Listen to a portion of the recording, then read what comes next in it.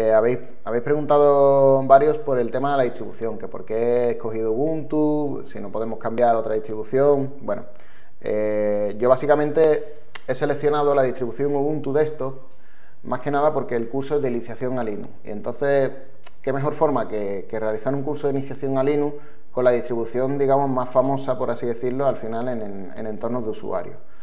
Más que nada porque las personas que, a lo mejor habéis venido, entiendo que habrá muchas que seáis ya especialistas en Linux, que os gusten más distribuciones como CentOS, Slackware, cualquier otra. Eh, al final, eh, Linux es Linux, es decir, cualquier distribución nos vale para aprender lo que vamos a aprender durante el curso, exceptuando la parte del final, que trabajamos con paquetería apt, ¿vale?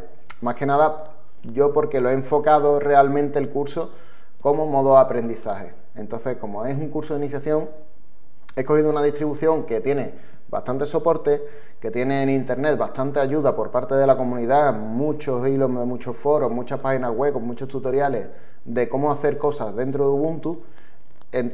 y por ese motivo es por lo que he escogido la distribución. Que realmente tenéis razón, se puede utilizar cualquiera. Sobre todo para cosas que vamos a ver básicas de, de lo que sería el sistema, ¿vale? Y Ah, vale, otra cosita más que también tengo que deciros.